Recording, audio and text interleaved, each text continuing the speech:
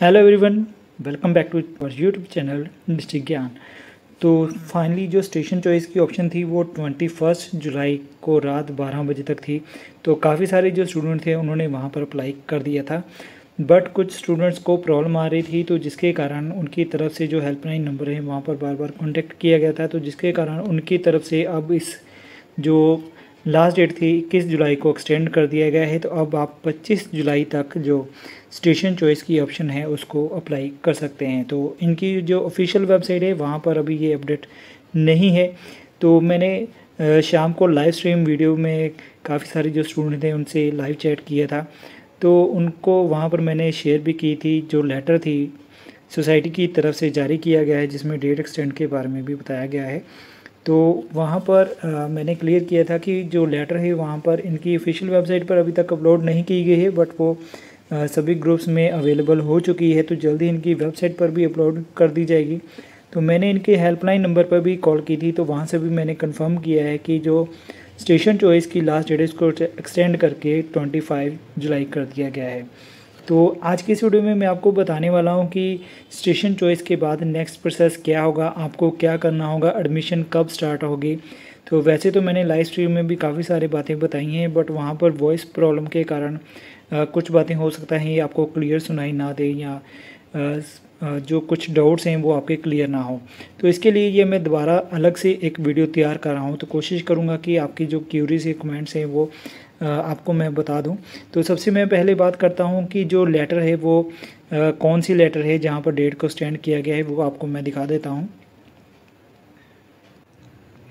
तो आप यहाँ पर देख सकते हैं कि जो सोसाइटी की तरफ़ से आज पब्लिक नोटिस जारी किया गया तो यहाँ पर उन्होंने बताया है कि पहले 21 जुलाई लास्ट डेट थी स्टेशन और स्ट्रीम चॉइस करने की।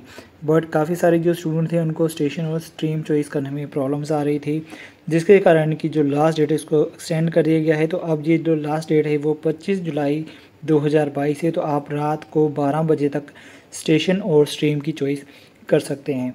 तो ये कुछ लेटर है जो आज सोसाइटी की तरफ़ से जारी किया गया है। तो अब मैं आपको बताने वाला हूँ कि कब आपकी जो नेक्स्ट प्रोसेस अब क्या होगा, कब आपकी जो लिस्ट आएगी, कौन सी लिस्ट आएगी काउंसलिंग होगी या नहीं होगी तो मेरिट लिस्ट अब दोबारा आएगी या नहीं आएगी एडमिशन कब स्टार्ट होगी, ये सारी बातें अब आपको इस वीडियो में सारी मैं बताने वाला हूँ। तो सबसे पहले मैं बात करता हूँ कि आपकी जो काउंसलिंग होगी या नहीं होगी तो मैंने कंफर्म किया है तो आपकी जो काउंसलिंग है वो अब नहीं होगी। ये जो सारा प्रोसेस है ऑनलाइन प्रोसेस था जो स्टेशन चॉइस करने का ये जो प्रोसेस है ऑनलाइन तो यही आपकी ऑनलाइन काउंसलिंग है। तो इस ऑनलाइन काउंसलिंग में आपकी तरफ़ से जो स्टेशन चॉइस कर ली गई हैं तो उम्मीद करता हूँ कि सारे जो स्टूडेंट्स हैं, उन्होंने स्टेशन चॉइस कर लिया होगा।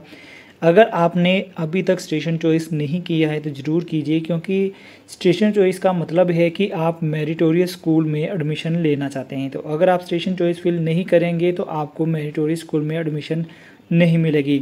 आपके अगर 80 प्लस 90 प्लस 70 प्लस मार्क्स हैं और आप स्टेशन चॉइस नहीं करते हैं तो आपको एडमिशन नहीं मिलेगी मेरिटोरियस स्कूल में। तो इससे क्या होगा कि जो वेटिंग लिस्ट वाले होंगे, उन स्टूडेंट्स को मौका मिल जाएगा।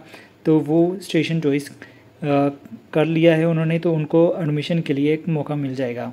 तो अब मैं बात करता हूँ कि अगर काउंसलिंग नहीं होगी तो नेक्स्ट क्या होगा?